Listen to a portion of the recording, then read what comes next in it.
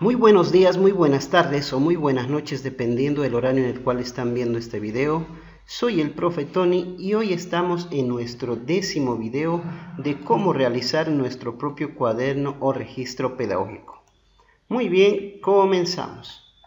Ok, en este video vamos a ver las fórmulas del cuadro de porcentaje que ya hemos trabajado en el anterior video.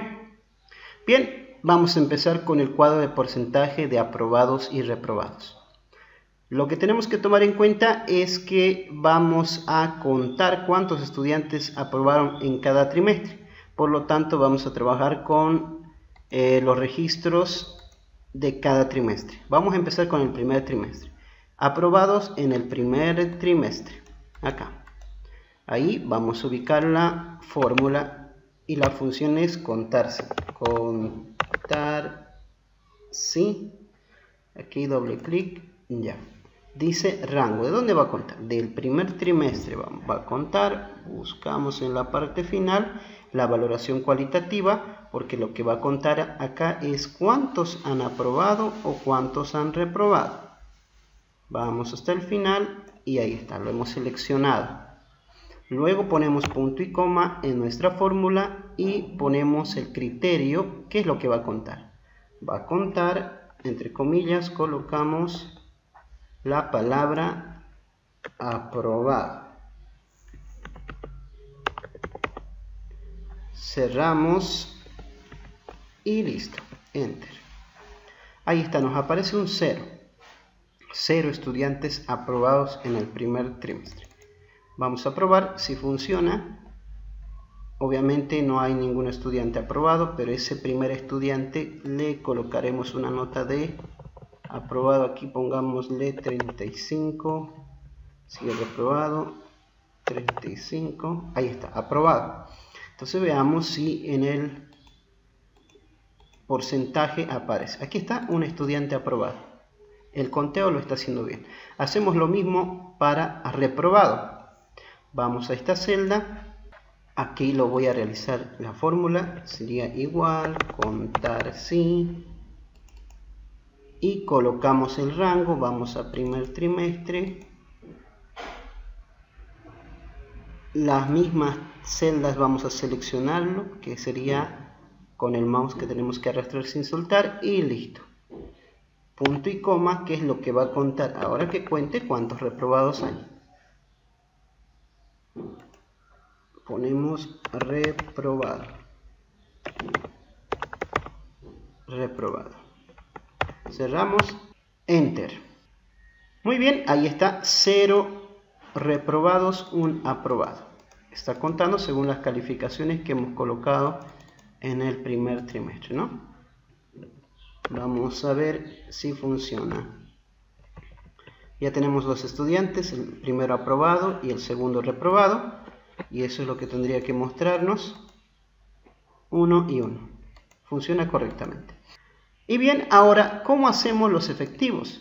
los efectivos son los estudiantes que asisten quitando a los retirados. Entonces los retirados no vamos a colocar una calificación obviamente acá que haga que no aparezca ni aprobado ni reprobado en esto. Podemos hacerlo de otra manera podemos poner más fórmulas claro que sí pero eso ya con el tiempo. Primero lo sencillo entonces, lo único que hacen, si la cantidad de aprobados ya la tenemos acá y reprobados ya la tenemos acá, los efectivos solamente serían la suma de estos dos. Entonces aquí ponemos la fórmula igual suma de estas dos celdas. Enter. Nada más. Aquí va a ir sumando los efectivos. Aprobados y reprobados. Y listo. Ya estaría. Lo mismo tendríamos que hacer para las demás, eh, los demás trimestres. Aquí la fórmula se repite, o sea que copio esa fórmula.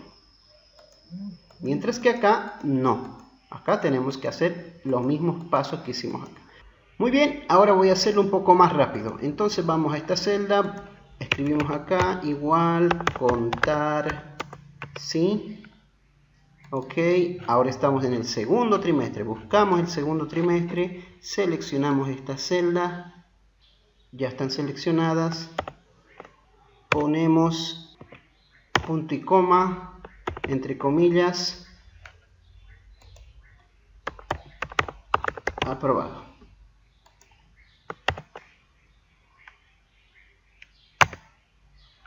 Ahí está, un aprobado.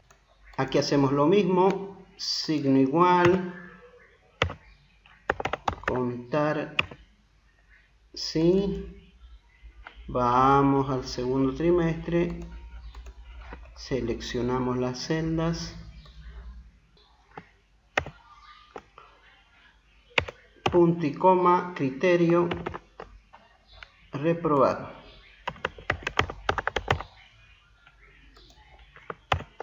Y listo. Cero reprobados. Un aprobado. Vamos al tercer trimestre. Hacemos lo mismo que hicimos para los anteriores trimestres.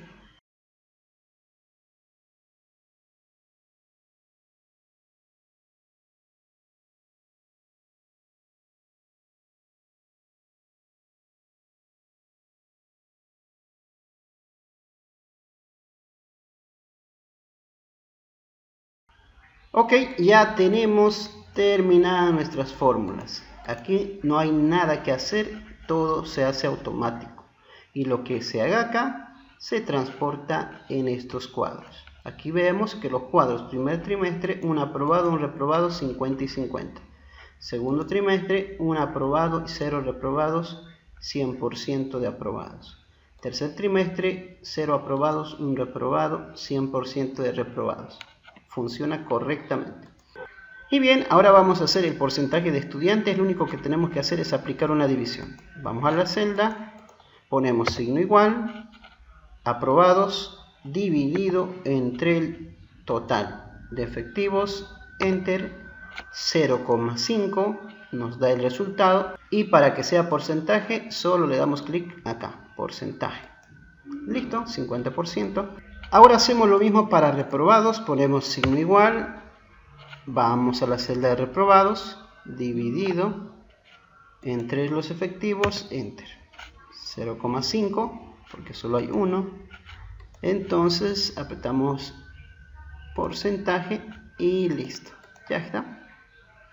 Bien, a ver qué pasa si arrastramos, fíjense que se copian las mismas fórmulas para las otras celdas. De abajo. Y lo mismo aquí arrastro las fórmulas y ya está todo. Y como estas celdas se van a sumar, entonces aquí viene la suma, quiere decir que todas estas fórmulas nos sirven. Lo copio y lo traslado. Vamos a trasladar sin el formato, solamente la fórmula pero nos sale 1 que en este caso lo ponemos en porcentaje 100% listo ya está terminado. Lo que cambia acá va a cambiar acá ¿no? perfecto. No fue más. Ahora vamos al cuadro de avance de contenidos.